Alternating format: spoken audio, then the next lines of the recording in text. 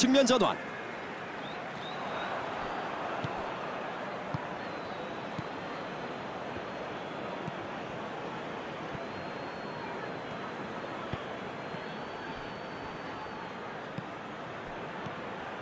크리스티안 에릭센. 브루노 페르난데스.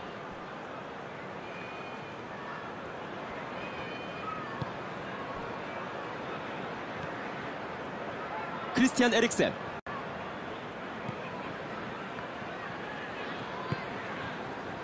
브루노 페르난데스.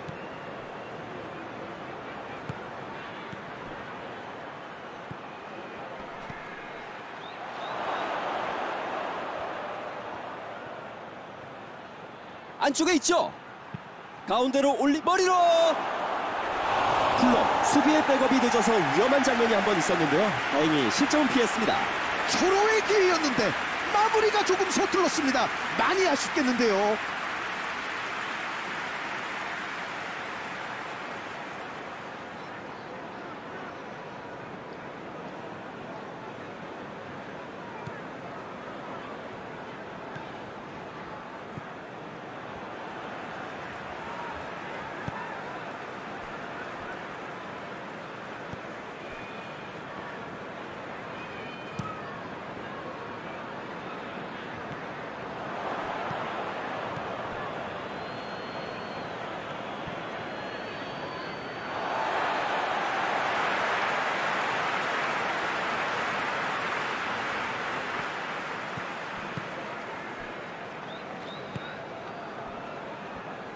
풀럼 아직까지는 돌파구가 보이지 않습니다. 반대편으로 주위를 살핍니다. 오른쪽 잘 봤습니다.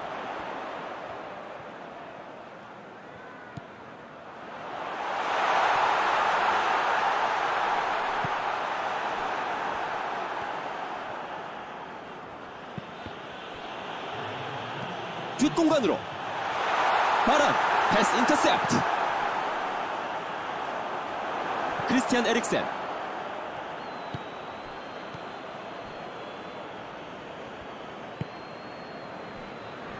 바란. 길게 찔러줍니다